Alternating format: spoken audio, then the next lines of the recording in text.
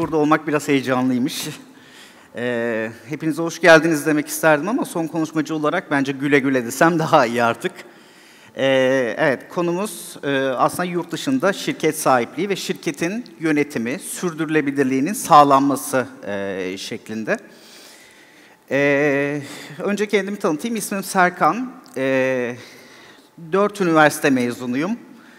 Ee, bununla birlikte 2006 yılından bu, yana kendi şirketimi yönetiyorum ve kurduğum tüm şirketleri Türkiye'de kendim kurdum. Bununla birlikte bu işim devam ederken e, uçuş eğitim alıp e, pilot olmaya karar verdim ve hava yolu pilotuyum. Diyeceksiniz ki niye bunu yapmıyorsunuz? Hmm, kısa bir bilgi. Ee, insan kendi işine çok alışınca hayatınızı bir başkasının ya da bir başka şirketin schedule etmesine izin veremiyorsunuz zannediyorum ve bu yüzden dedim ki bu lisans şimdilik kenarda kalsın. Bir gün canım uçmak isterse uçarım diye düşünüyorum. Evet, önce bizden bahsedeyim. Ee, E-şirket olarak 2006 yılında başladığım e, ee, yani bürokratik olarak bakıldığında resmi olarak başlamadığım bir tarih. 2006'da başlayıp aslında bireysel olarak çalıştım. 2011 yılında kendi şirketimi kurdum. E, yurt dışında şirket kuruluşu ve bunun yönetilmesiyle ilgili de yaklaşık 3 e, senedir hizmet veriyoruz ve bugün itibariyle 400 üzerinde şirkete destek veriyoruz. İngiltere ve Amerika olmak üzere. Ee, biz buna 360 derece hizmet diyoruz çünkü e, birçok muhasebeci arkadaş ya da e, yurt dışında bulabileceğiniz Amerika'da ya da İngiltere'de sadece şirket kuruluş hizmetini sağlayıp sistemler üzerinde, kağıt üzerinde şirketi var edip ondan sonra e, vedalaşmıyoruz. Geri kalan her e, işte, her çözümde size destek olmaya çalışıyoruz. Örneğin işte ticari bankacılık hesapların açılması, e, ödeme altyapılarının sağlanması, vergi, pazarlama bu işler nasıl yürür, vergi nasıl doğar, pazarlama nasıl yapılır bunların hepsiyle ilgili eğitimler veriyoruz, online eğitimler. Ve bunlar aslında genel itibariyle bir video kaydı şeklinde buyurun eğitim değil, bunları e, ayda bir falan yenilemeye çalışıyoruz yeni gelen arkadaşlar için. Boss Club diye oluşturduğumuz, yani kendi aramızda Boss Club diyoruz buna, kapalı bir grup aslında. Bu kapalı grupta e, şunu fark ettik, zaman içerisinde herkes birbirleriyle arkadaş oldu. E, bilenler bilmeyenlere bir şeyler anlatmaya başladı. Rahatlıkla e, gecenin bir saatinde de buradan sorularınıza cevap alabiliyorsunuz. Ya da işte elinde imkanı olan kişiler farklı çözümler sunabiliyor. Örneğin yazılımcı bir arkadaş web sitesi isteyen birisine e, ücretsiz ya da çok cüzi fiyatla belki maliyetine e, işler yapabiliyoruz burada. E, aslında burada en önemli şey, e, en önemli olan hususlardan bir tanesi benim en çok önemsediğim bu içeride oluşan e, community. E, Atmosfer içeride gayet güzel. Herkesin birbirinden faydalanması, birbirine destek olması güzel. E, hatta salona da şöyle bir baktığımda birçok kişiyi e, burada görebiliyorum arkadaşlarımdan da.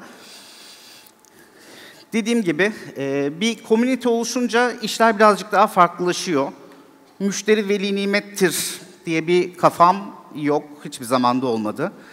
Yani birisi hizmet sektöründe çalışanlar özellikle çok çok iyi anlayacaktır beni parayı verdiğinde kişiler bazen sizi satın almış gibi hissedebiliyor. Dolayısıyla ben de e, yani bizde müşteri veli nimettir ya da para her kapıyı açar, parayı veren düdüğü çalar gibi olgular yok. Belki söylediğimde biraz size küstahça bir yaklaşımmış gibi geliyor, geliyor olabilir ama e, özetle bize ödeme yapan herkes bizimle çalışamıyor ne yazık ki. Bunun da nedeni aslında bir önceki slaytta bahsettiğim içeride oluşan samimiyetlere uyum sağlayabilecek kişileri seçmek durumunda olmamız. Bir diğer neden de YouTube'dan birkaç tane video izleyip işte stoksuz sermayesiz iş varmış diye kapıma dayananları e, bilgilendirme ihtiyacı duyuyorum. Çünkü kişilerin çok az bir sermayesi, parası olup bu işlere girmeye çalışıyorlar ve o noktada ben şu, bu konuda uyarıyorum. Evet bu iş stoksuz ama tamamen sermayesiz de denemez diye. Yani aslında içeriye kabul ettiğim müşteri ya da danışan diyorum ben.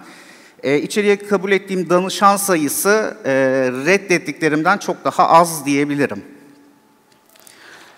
Komisyonsuz işbirlikleri yapıyoruz. Yani bunun ne, şu anlamda herhangi bir yerden bir hizmet alırken şirket sahiplerimizin çıkarlarını gözetiyoruz. Hiçbir şekilde e, bir yerden komisyon almıyoruz. Mesela e, en basitinden kullandığınız Easy Inventory tarafında bir hmm, zannediyorum bir cashback gibi bir uygulama gelecek. Onda mesela e, şirket sahiplerimize özel bir hizmet sağlayabilir miyiz? Bu kısımla ilgileniyoruz. Ya da lojistik çözümleri olduğunda e, lojistik hizmeti veren, depo, ara depo hizmeti veren kişilerden bize özel indirimler yapmasını isteyebiliyoruz ve bunları doğrudan şirket sahiplerimiz şirket sahiplerimizin kullanmasını sağlıyoruz. Çok affedersiniz. Ee, bunun dışında örneğin kendi bizim açımızdan güven sağlayan kişiler e, kişilerle de çalışmayı yeğliyoruz. Örneğin e, ben Amazon işi bizzat yapmıyorum. Çok bildiğim bir alanda değil. Dropshipping nedir bilmem. Evet, hesap açabiliyorum. E, Birçok arkadaşım şahit. E, Birçok suspend türünü çözebiliyorum. E, bu alanda ama hizmet vermiyorum, vermiyorum. Ücretli ya da ücretsiz. Ama kendini ispat etmiş kişilere de seve seve e, kişileri yönlendiriyorum. Mesela aramızda Bahar arkadaşımız var, Bahar Kaya. Belki birçoğunuz tanıyordur.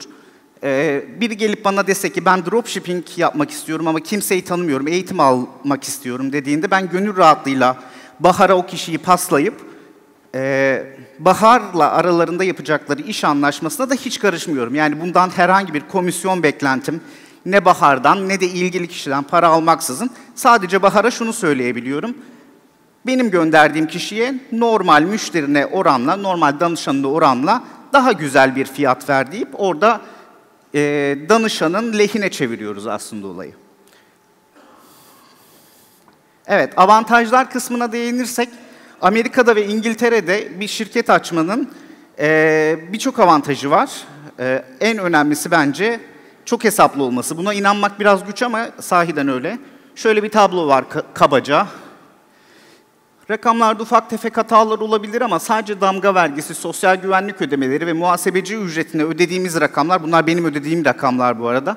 Türkiye'de yapmış olduğum bir iş dolayısıyla mecburen bir Türk şirketine sahip olmak zorundayım. Ee, o nedenle benim ödediğim rakamlar sadece bunlar ki bunun içinde henüz e, herhangi bir yani fatura kestiğimiz için KDV, işte gelir vergisi, e, işte iş yeri kirası vesaire bunların hiçbiri olmadan 27.500 senelik bir maliyetimiz var ve sabit. Dediğim gibi bunlara vergiler ve tüm kiralar vesaire hiçbir dahil değil.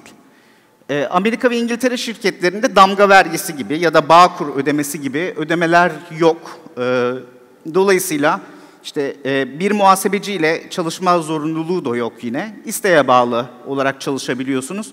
Dolayısıyla bunlar da artık kalem şeklinde size yansıyor. Evet, şirket kuruluş işlemleri Amerika tarafında LLC yapıda şirketler kuruyoruz. Ee, İngiltere tarafında limited yapıda. Aslında Türkiye'de bunların tam karşılığı yine bizim limited şirketimiz. Özellikle İngiltere tarafı aynı. LLC'de ufak tefek e, değişiklikler var. E, ama e, reel hayata yansıyan net bir değişiklik yok. İkisine de aslında limite şirket diyebiliriz. E, Amerika tarafında 12 saat içerisinde birçok zaman hatta özellikle akşam 6 sularında başvuru yaparsanız 12'ye kadar şirket kuruluşlarını tamamlıyoruz. E, İngiltere tarafında bu 24 saat er, genel itibariyle ertesi gün onaylanıyor. Evet, Amerika tarafında e, hepiniz hepinizin bildiği gibi EAN number e, gerekiyor. Yani bu işveren kimlik numarası. E, başvuru yapmamızın akabinde yani şirket kuruluşunu yapar yapmaz bekletmeksizin başvuru yapıyoruz ve 4-5 günde EAN number e, ulaşmış oluyor. ITAN number ise bireysel kimlik numaranız. Eğer verginizi e, Amerika'da ödeyecekseniz gerekli olan bir numara bu. Yani aslında bireysel kimlik numarası bir şey gibi düşünebilirsiniz. E, limited şirket olanlar bilir. Bir vergi kimlik numarası vardır. Bu şirketindir. ITIN de bizim kendi TC kimlik numaralarımız gibi aslında bireysel kimlik numarası. E, ITIN'i biz almıyoruz. Yani bizzat alamıyoruz daha doğrusu. IRS'e kayıtlı e, agentlar var. Bunlar tarafından alınabiliyor. E, bizim de anlaşmalı olduğumuz bir agent var. Kendisi üzerinden e, sağlıyoruz bunu. Üzerine yine hiçbir kar koymuyoruz. Doğrudan sizi iletişime geçiriyoruz ve 200 doların altında bir fiyat veriyor. Bizim yönlendirdiğimiz kişilere kendilerinden alabiliyorsunuz. Amerika'da en önemli konulardan bir tanesi Resale Certificate. Bu ne işimize yarıyor? Vergisiz olarak ürün alabilmemizi, yani yeniden, satı, yeniden satacak olduğumuz ürünler için e, herhangi bir vergi ödememiz, satış vergisi yani Türkiye'deki karşılığı KDV diyebiliriz. KDV ödemeniz gerekmiyor Amerika'da. Bunu al, bu resale sertifikate'i aldığımızda ve satıcı tarafına e, yani toptancı tarafına bu, bunu ilettiğimizde siz e, satış vergisi olmadan e, ürünleri alabiliyorsunuz. Bunu aynı zamanda Amazon Prime Business tarafında da yapabiliyorsunuz ama e, ana nokta burada şu, şirketleri daha çok Wyoming'te kuruyoruz. E, resale sertifikate'i almanız gereken yer deponun olduğu yerdir. Yani Wyoming'de e, şirket kurup Florida'daki deponuz için e, resale sertifikate'i almanız gereken yer Florida olması gerekiyor. Yani birçok kişi Wyoming'de şirket kurup Wyoming'de resale sertifikate'i alıp e, vergisiz ürün alabileceğini düşünüyor. Bu yanlış bir bilgi. Bunu da EIN geldikten sonra e, bir hafta içerisinde alabiliyoruz. İngiltere tarafında UTR ve EORI gibi hususlar var. Bunlar da şirket kuruluşundan e, çok kısa süre sonra yani 15 gün sonra alınabilen e, bilgi, bilgiler. Zaten UTR şirket kuruluşundan sonra adresinize gelir ve kurumlar vergisi aktivasyonunu aktive etmek, kurumlar vergisini aktive etmek için kullanılır. Aynı zamanda ithalat ihracat işlemlerinde de UTR ve EORI number'ınızı vermeniz gerekiyor. Bunların da tamamı yine tarafımızca tahsis ediliyor. Vergi beyannamesi kısmı Amerika ve İngiltere şirketlerinde aylık, 3 aylık e, ve yıl, aylık ve 3 aylık vergi beyannameleri yok. Yıllık şekilde yapılıyor. E, beyana e, beyan usulüyle e, yapılan e, işlemler. E, Amerika tarafında herhangi bir e, belge toplama zorunluluğunuz yok ama bu sadece tavsiye niteliğinde bulundurulmasının ve verilerin saklanmasının sağlıklı olacağı kanısındayız. Olası bir denetimde neyi neye göre beyan ettiğimizi e, belirtmenin en kolay yolu çünkü bu. Amerika'da satış yapanlar çok iyi bilir. E, zaten satış vergisini Amazon bizzat topluyor ve ilgili eyalet neresiyse oraya ödüyor. Satış vergisi Amazon'da şöyle doluyor. Bir ürün sattığınızda e, hangi eyaletteyse müşteri, o eyaletin oranına göre e, satış vergisi hesaplanıyor. Yani bu ne demek? Birçok kişi şöyle düşünüyor işte Delaware'de e, satış vergisi yok o yüzden Delaware'de şirket kurayım. Yanlış bir bilgi. E, aslında Delaware'de şirket kurmak Amazoncular için daha karlı diyemeyiz, daha zararlı. Nedeni şu, yıllık 300 dolar bir franchise tax ödersiniz Delaware'de. Zannedersiniz ki yüzde sıfır vergi. Hayır, eğer sizin e, satın aldığınız, satış yaptığınız müşterilerinizin hepsi Delaware'de yaşıyorsa ve shipping adres doğrudan Delaware ise evet o zaman yüzde sıfır vergi çıkar ama örneğin Wyoming'de ise yüzde dört vergi öder müşteri. Dolayısıyla o da size yansır. Amazon bunu toplayıp zaten ilgili eyalete veriyor sizin adınıza ödüyor yani. Ekstradan bir satış vergisi beyannamesi yapmaya gerek yok.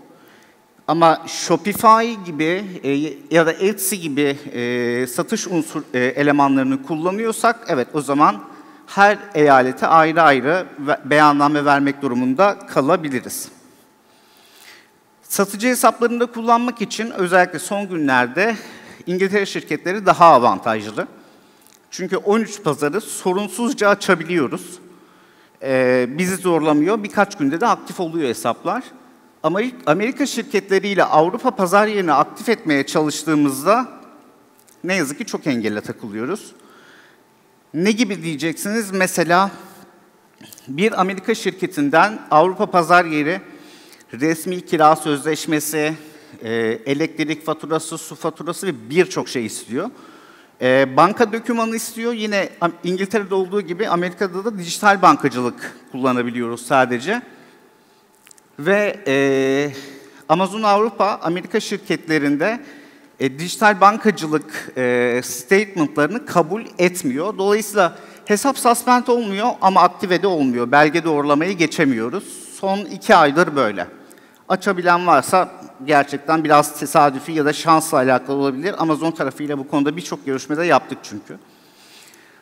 Öte yandan e, Amerikalı toptancılardan ürün alma konusunda da İngiltere şirketleri yetersiz kalıyor. Çünkü birçok Amerika şirketi yurt dışına fatura kesmiyor. Yani İngiltere'ye ya da e, bir başka ülkeye garezleri olduktan, olduğundan değil aslında e, bizdeki gibi ihracat kayıtlarının olmamasından dolayı yurt dışı şirketlere bir ihracat operasyonları olmadığı için yurt dışı şirketlere fatura kesmeyi kabul etmiyorlar ve o nedenle de toptancı şirketlerle, e, toptancılarla İngiltere şirketleriyle çalışamıyoruz. E, alıcı hesap kullanımı konusunda aslında Amerika şirketleri en avantajlı. Çünkü az önce bahsettiğim gibi resale certificate önemli bir unsur vergisiz ürün alma konusunda. E, ayrıca biliyorsunuz Business Prime hesabı kullanabiliyorsunuz ama Business Prime hesabı kullan, kullanıldığında mutlak surette bir ara depo kullanmak lazım. E, Amazon Prime yani Amazon Business Prime hesabı kullanıp e, gift olarak gönderirseniz zaten yasak da e, tamamen şirkette hesapta aslında kullanılamaz şeklinde elimizde kalabilir. Evet, doğru bilinen bazı yanlışlar. Az önce bahsetmiştim. Amerika'daki en avantajlı eyalet Delaware değildir. Ee, tek oranı yüzde sıfır olması bizi aslında bu noktada çok bağlamıyor. Ha, hem şirketimiz Delaware'de hem de depomuz Delaware'de ise evet e, bu durumda resale certificate kullanabiliriz. E, ama onun dışında başka bir avantajı yok. Örneğin Wyoming'de yıllık ödememiz gereken e, Delaware'de franchise tax olarak geçen e, vergi e, 52 dolarken Delaware'de 300 dolar. Haziran sonuna kadar da yatırılması gerekiyor. Eğer burada Delaware'de şirket olanlar varsa kaçırmasınlar. Pardon, Haziran başı. Bir diğer konu, Amerika'da şirketimizin bulunduğu eyaletten sertifika alıp tüm ürünleri vergisiz alabilirim. Yine az önce bahsetmiştim. Alamazsınız. Ee, bunun için deponuzun olduğu yerde, e, yerden resale certificate almanız durumunda evet vergisiz olarak, olarak alabilirsiniz.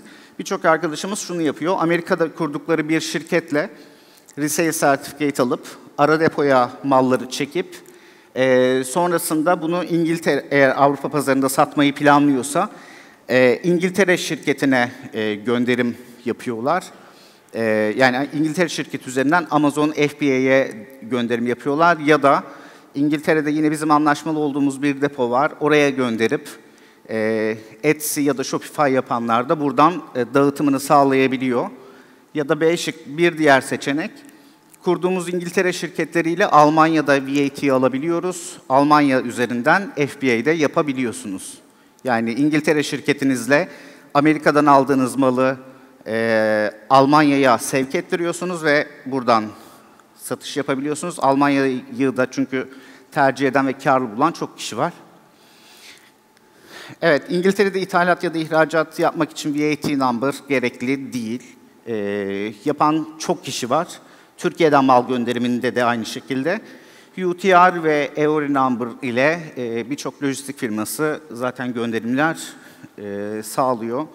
Birçok bir arkadaşımız da zaten yine e, burada Navlungo ile çalışıyor bildiğim kadarıyla bizdekilerde. E, genel olarak da memnunlar. Evet, Amerika'da ya da İngiltere'de şirket kurmak en sık e, aldığım e, sorulardan bir tanesi.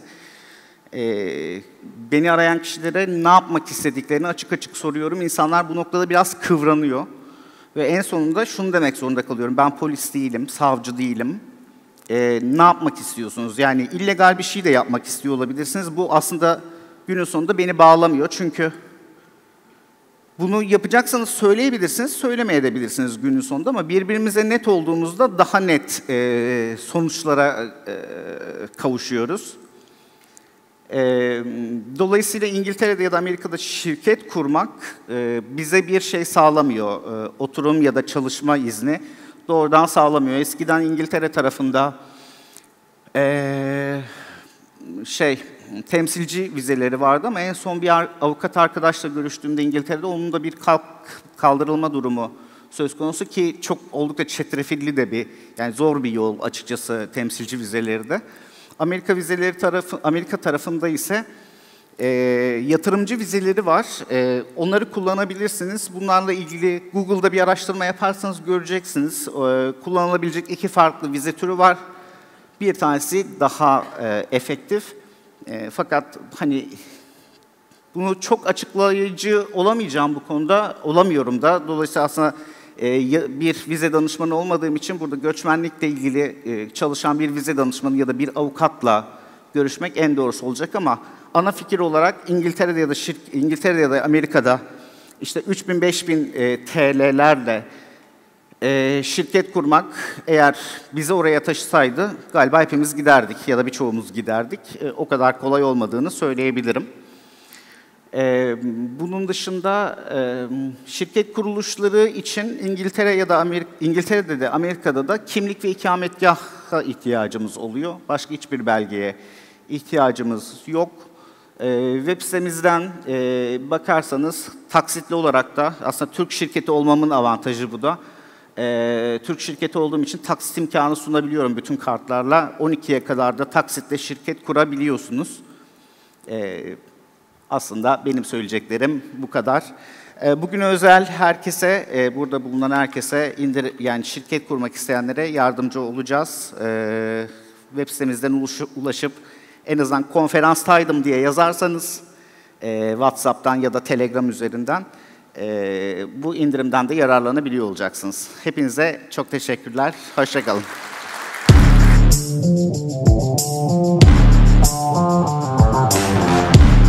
Thank